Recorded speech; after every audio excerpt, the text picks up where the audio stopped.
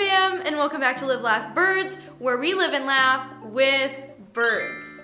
So today's video is a very highly requested one, and that is going to be how to harness train your bird.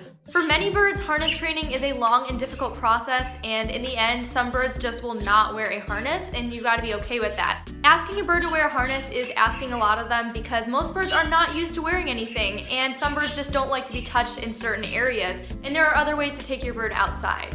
If your bird won't want to wear a harness, then I really recommend backpack carriers like the Pak-O-Bird. That way you can still take your bird on walks. You can use any carrier to just carry your bird outside, place them on a table or a patio. It's really healthy for birds to go outside because they get their vitamin D from the sunlight and they also get to see all the things outside and that is really enriching for them. You should not be clipping your bird's wings as a method of taking them outside. I have said this before, so many clipped birds fly away. Even Violet was a bird that was found outside with clipped wings. All it takes for a clipped bird to fly away is a loud noise, something spooks them, they take off, and yes, they can still take off. Maybe they have one or two flight feathers grown in that you didn't notice, or there's a breeze and that takes them right into a tree, never to be seen again. I've got a tail sticking out from my hair. Kermit is the only one of my birds that is harness trained and I get tons of comments asking, when will Ducky go outside? Is Ducky harness trained? The answer is no. Ducky is a very sensitive bird, it's just her personality. Ducky does get really spooked by strangers and going on a walk obviously means you're going to be encountering a lot of people and it's just not the right fit for her. But she does go outside in my garden, I will take her in a carrier and just put it right on the table. A lot of people ask, can budgies wear harnesses? The answer is yes, they do make harnesses for budgies. But those harnesses do tend to be a little bit big on them when you compare a budgie size. They are not exactly proportionate, and so you do need to do a little bit more training with a budgie. You need to work with them more. A lot of budgies also tend to be flighty, so they're not always great with being handled in order for the harness to come on. A lot of budgies don't really like being touched in those ways. But yes, it is possible for a budgie to wear a harness. It just takes a lot of training and a lot of desensitization. The harness that I use is the Aviator harness. I really think this is the best one. It's got this stretchy elastic leash, so when your bird flies to the end of it, it's not going to pull them back. Instead, they are going to basically flutter at the end of that leash, and it gives them time to turn around and come back to you. For Kermit, who is a green cheek conure, I use the extra extra small size, also called the petite size, and that size will also work for a cockatiel. Now let's get on to the actual harness training process. The harness training process can take a very, very long time, all depending on the bird. Some birds might be comfortable with it right away. Some birds will take months and months and months of dedicated training just to wear the harness. You've got to be patient, you've got to work at the bird's pace, and you don't want to move ahead and rush your bird into doing something that they're not comfortable doing. With Kermit, I harness trained him last year, so this is the second summer that he's been able to go outside. I started in the winter and he was able to go outside by the spring, so it took a few months, I'd say maybe three months for Kermit to be comfortable wearing the harness, but it's different for every single bird. Now the first step to harness training is just getting your bird comfortable with the sight of the harness. When you first get your harness, you might notice that your bird is actually scared of just looking at it, and if that is the case, what you wanna do is put it somewhere where your bird can see it, for example, right near their cage, on top of the cage, but don't put it close to them yet. Just put it down somewhere so your bird can get used to it, and don't move it, and don't touch it.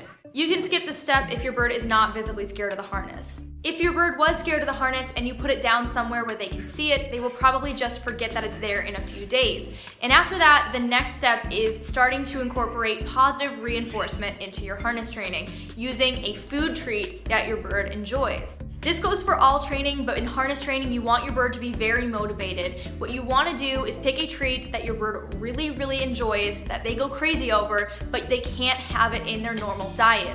If you're using millet as your treat, you can't have millet hanging in their cage. You shouldn't have millet hanging in your cage anyway, but in harness training, you really want your bird to associate the harness with something special. It's gotta be a really rewarding treat. So basically the harness is already sitting on a surface and what you wanna do is get your bird to inch closer to the harness using the treat. Put the treat right near the harness. You don't even have to be holding the treat, just put treats all around the harness so your bird gets close to it. Your bird is going to be lured by that treat to move closer to that harness, and when they do, give them that treat, reward them, and praise them. Even if they're not going right up to that harness right away, give them that treat for any step of progress. For some birds, they're gonna be comfortable going right up to the harness right away. And still do this step, even if your bird is not scared of the harness because you want your bird to associate the harness with good things. Once your bird is comfortable with going right up to that harness, what you wanna do is start touching the harness while your bird is there as you're giving your bird treats. And then what you can do is lift up the harness and you want your bird to be comfortable with you holding out the harness in order for you to put it on them.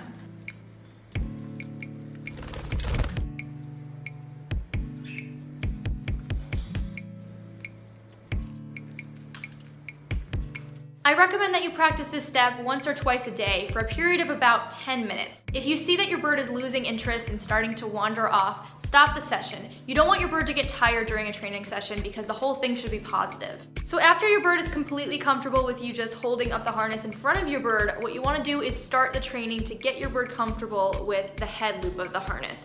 But you don't wanna use the actual head loop at first.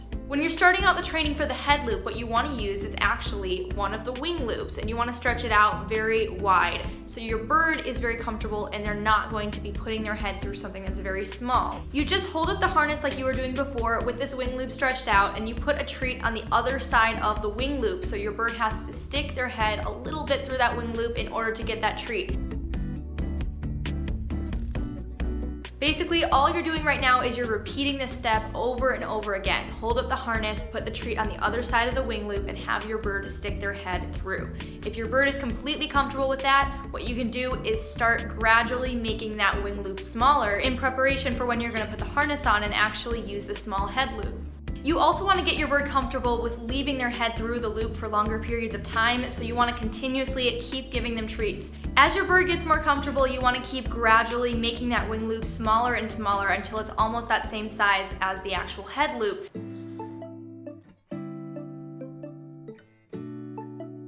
In addition to the wing loop method, I actually used a different method to get Kermit comfortable with the head loop once he was comfortable with the wing loop. What I did was just make my hand into a circle like this and asked him to stick his head through the hole.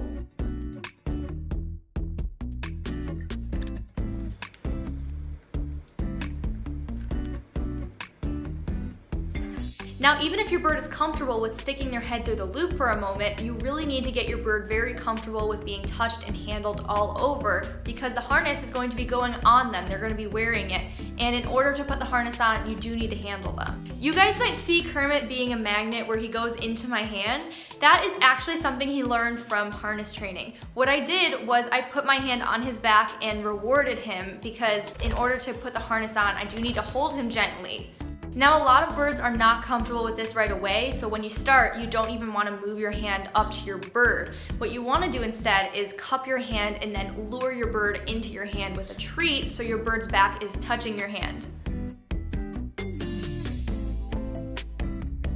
Kermit is really a bird that does not mind being held, so he really took to the harness training well, but this is the step where some birds might just not be comfortable with it and you have to accept it. So the next step in harness training is getting your bird comfortable with you touching their wings in preparation for putting their wings through the wing holes. At first, you just wanna practice putting your hand on the side of their wing, just like you've been practicing putting your hand on their back.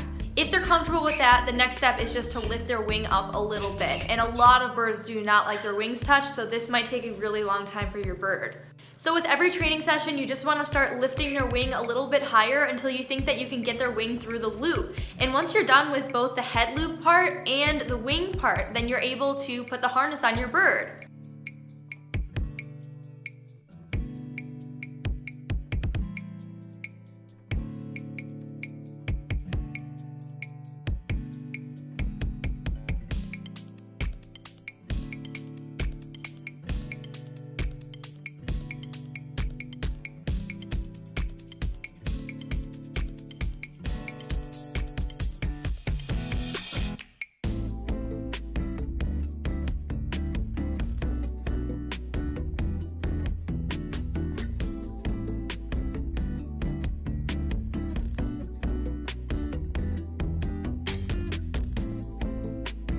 Once you get the harness on your bird for the first time, give them tons of treats. Praise them a lot. Give them unlimited treats, basically. Tell them how good they did because it is a huge accomplishment to put the harness on. And then once you get your harness on, obviously comes the best part. You can take your bird outside. Yeah, he's in my hair. You see him? Yes, Kerm. Reaching the end goal is what makes harness training all worth it. I get a lot of comments saying for some reason that I don't hold the harness, but I do have it around my wrist the entire time. I would never just let go of the harness. I don't know why you guys thought I did.